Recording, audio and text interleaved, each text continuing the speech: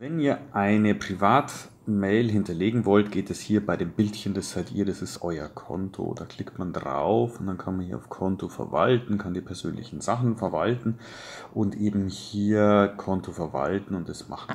Und im nächsten Schritt dahin klicken, die Security Info, da lässt sich das einstellen. Hier ist auch so Passwort Change und lauter so wichtige Sachen. Und dann habe ich hier die Möglichkeit, eine Handynummer zu hinterlegen, eine private E-Mail zu hinterlegen, wenn mir ein Gerät geklaut wurde, überall rausgehen. So, das hat äh, folgenden Vorteil, wenn ich mein Passwort vergessen habe und ich habe so das hinterlegt, kann ich mein Passwort selber wieder erneuern, ohne dass ich jetzt zum Lehrer laufen muss, weil der Lehrer muss auch wieder zur Stadt München laufen. Ähm, das können wir leider an der Schule nicht machen.